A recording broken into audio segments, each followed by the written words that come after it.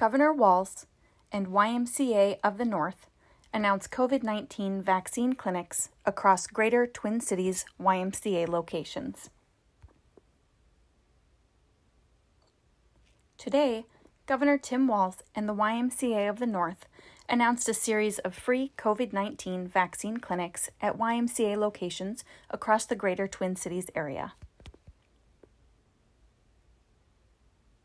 Governor Walz said, COVID 19 vaccines are the best tools we have to keep our children and families safe and beat this pandemic. Now is a critical time to make sure all of our family members 12 years of age and older are vaccinated to ensure a safe and healthy school year. Thank you to the YMCA of the North for helping bring these life saving vaccines into our communities, meeting Minnesotans where they are, and making it easier than ever to get your family protected against COVID 19. Lieutenant Governor Peggy Flanagan states We all want to keep our kids and families safe heading back into fall and the school year, and that means getting as many of us vaccinated as possible. I am grateful to the YMCA of the North for their partnership and working with us to keep Minnesotans healthy and our communities strong.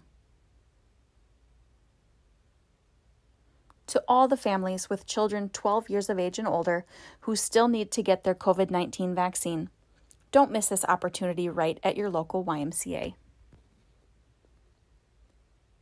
Through a partnership between the state of Minnesota and the YMCA of the North, a leading nonprofit dedicated to strengthening communities through the youth development, healthy living, and social responsibility, Pfizer COVID 19 vaccines will be offered to all Minnesotans 12 years of age and older at more than a dozen YMCA locations. President and CEO of the YMCA of the North, Glenn Gunderson, states The YMCA is honored to serve as a community hub in efforts such as these free clinics to advance well being for all. We are committed to keeping our communities healthy and strong.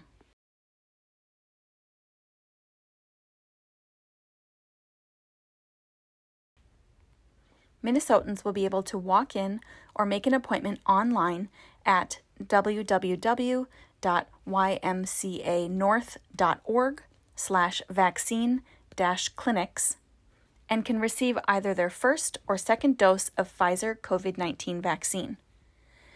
Vaccines will be provided in partnership with specialists, local public health, and Metro Transit mobile vaccine units.